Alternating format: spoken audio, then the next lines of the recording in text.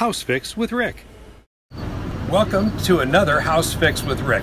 Today we're going to take advantage of uh, talking with an expert in uh, hard surfaces, Lester Boggs from Quikrete Company. We're going to talk about a relatively new product that they have that solves a lot of problems around the home, and that is a, a quick repair to chunked out places of your concrete surfaces.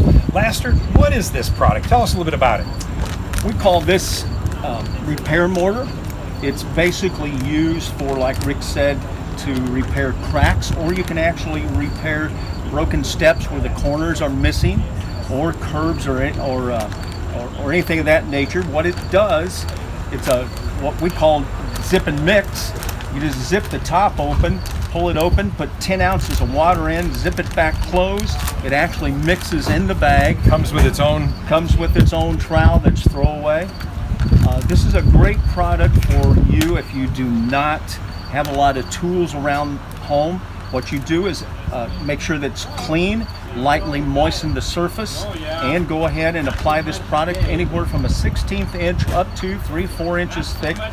Gives you about 15 to 20 minutes to work with it before it, that it will actually start when to they set say up. 15 minutes work that that means 10 minutes folks you need to play with it sometimes i recommend try it a little bit first so you understand how quickly it does set up but it's a great product and uh, lester sometimes these would dry a weird color if they're making a repair at home. How does this stuff uh, really cure out? Does it look like the, the concrete surface that we had or is it going to be a weird color when we're done? Well, when it first goes on, it's going to have that dark gray look, but as it cures, it will actually turn very close to your uh, existing concrete. let's look color. and see if we can see some. We did uh, a little example a minute ago. Let's look at some right now lester this is a new you just did this 15 minutes ago 15, 20 minutes ago, uh, the darker color is still uh, curing, and it will it will take probably another hour or so to cure. But it's already turned hard. But this lighter color you see off to the side here, which is cured real uh, very fast, that's what the color will eventually be.